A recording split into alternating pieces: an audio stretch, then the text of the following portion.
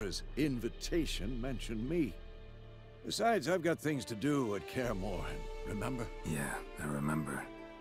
Thanks for your help, Vesemir. See you soon. How's your horse? Swift? Can't complain. Why do you ask? I'd like to be back behind some thick city walls as soon as possible.